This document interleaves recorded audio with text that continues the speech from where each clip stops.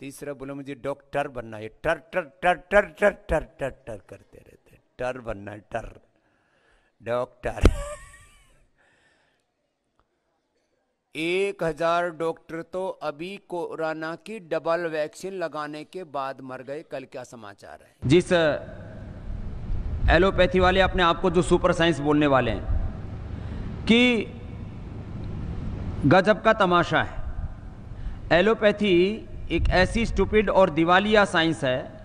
Allopathy को stupid science बताकर लाला रामदेव, ओह, माफ़ कीजिएगा। बाबा रामदेव बुरी तरह गिर गए हैं। नमस्कार, आदाब, मैं हूँ हामिद सैफी और आप देख रहे हैं टाइम 24 न्यूज़ योग गुरु रामदेव ने ये बात व्हाट्सएप पर फॉरवर्ड किए एक मैसेज का हवाला देते हुए हाल ही में अपने बयान में कही थी, जिसके बाद उनके बयान का वीडियो सोशल मीडिया पर तेज़ी से वायरल हुआ और फिर सोशल मीडिया पर कई गुट बन गए। कोई लाला रामदेव माफ़ कीजिएगा, बाबा रामदेव के समर्थन में तो कोई उनके द्वारा दिए गए बयान की जमकर आलोचना करता नज़र आया। मगर क्या आप जानते हैं कि एलोपैथी को स्टूपिड साइंस कहने वाले रामदेव को खुद भी एलोपैथी साइंस और अस्पताल का सहारा लेना पड़ गया था? अगर आप नहीं जानते तो हम बता देते हैं आपको। मगर उससे पहले, अगर आप हमारी वीडियो पहली बार देख रहे हैं तो चैनल को सब्सक्राइब करके बेल आइकन दबा दें और हमारी इस क्रांति में शामिल होने के लिए तुरंत वीडियो के लिंक को दोस्त, रिश्तेदार और अपने कॉन्टैक्ट में शेयर कर दें। सबसे पहले जानिए कि रामदेव के बयान पर देश में डॉक्टरों की सबसे बड़ी संस्था आईएमए इंडियन मेडिकल एसोसिएशन ने उन पर एक्शन की मांग की, जिसके बाद पतंजलि ने इस पर जो सफ़ाई दी, वह नाकाफी नज़र आई। आगे केंद्रीय स्वास्थ्य मंत्री डॉक्टर हर्षवर्धन ने भी रामदेव के बयान पर सवाल उठा दिए।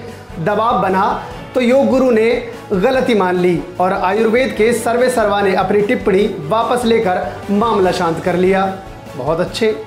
मगर बात उस दौरान की है जब रामदेव को खुद एलोपैथी और हॉस्पिटल का सहारा लेना पड़ा। बात अन्ना आंदोलन के समय की है। देश में भ्रष्टाचार के खिलाफ आवाज़ें बुलंद थी। रामदेव भी तब मुखर होकर मोर्चा खोल रहे थे। वह दिल्ली के रामलीला मैदान में अनशन पर बैठ गए थे। 4 जून 2011 की शाम तत्कालीन केंद्रीय मंत्री कपिल सिब्बल ने दावा किया कि उन्हें अनशन खत्म करने से जुड़ी रामदेव की चिट्ठी मिली थी। हालाँकि योग गुरु ने उनके दावे को झूठा करार दिया।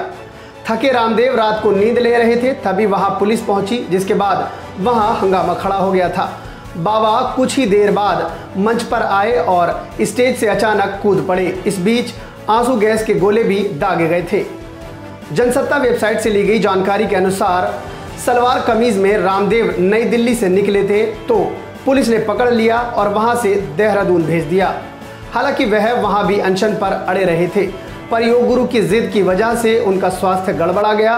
साइट से मिली जानकारी के अनुसार, उन्हें देहरादून के जॉली ग्रांट अस्पताल में शिफ्ट किया गया।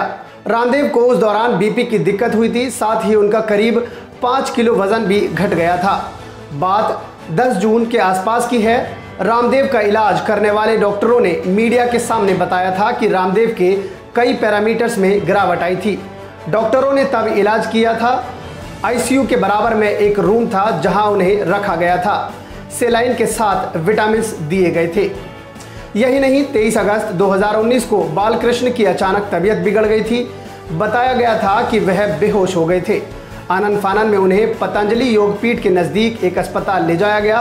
वहाँ के मेडिकल जाँच करने वाले डॉक्टरों ने बताया था, उन्हें जब यहाँ लाया गया तो वह सही से बोल नहीं पा रहे थे कि उन्हें क्या दिक्कत है। सभी टेस्ट नॉर्मल हैं, पर न्यूरो को ध्यान में रखते हुए उन्हें एम्स रेफर किया गया था। बाद में ऋषिकेश स्थित एम्स ले जाया गया था, जहाँ उनका इलाज हुआ था। इस दौरान कुछ मीडिया रिपोर्ट्स में बताया गया था कि उन्हें दिल का दौरा पड़ा वैसे रामदेव के प्रवक्ता एस के तिजारावाला ने पत्रकारों से तब कहा था कि चिंता की बात नहीं है, आचार्य बालकृष्ण की हालत स्थिर है। यानी मीडिया रिपोर्ट्स में दावा किया गया है कि हालत बिगड़ने पर बाबा रामदेव और बालकृष्ण को खुद एलोपैथी और अस्पतालों का सहारा लेना पड़ा था। दोस्तों, आपकी इस पर क्या राय है? हमें कमेंट बॉक्स में कमेंट करके ज़रूर बताएँ। मुझे दीजिए इजाज़त। मिलते हैं आपसे अगली वीडियो में। तब तक के लिए नमस्कार, आदाब। चैनल को सब्सक्राइब करें और हाँ बेल आइकन दबाना बिल्कुल ना भूलें।